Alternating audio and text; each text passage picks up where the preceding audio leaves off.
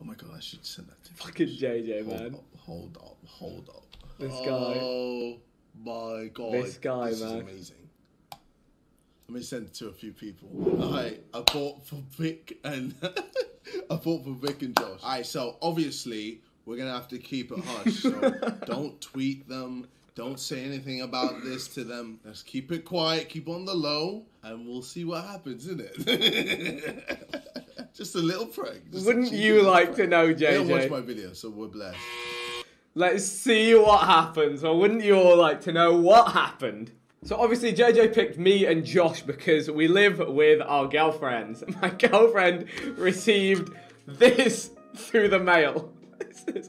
Please be gentle, Posty. Pussy pops, lollipops that have been in forbidden places for your pleasure.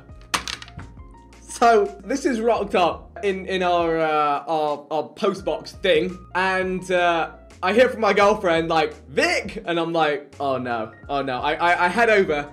Fortunately, she's pretty smart. She turned it over and read at the bottom right here. It says. Please note this is an envelope is for novelty purposes only and does not contain any traces of female bodily fluids. Contents are one Christmas card, one sealed lollipop. This prank was ordered. Um, hope you see the funny side.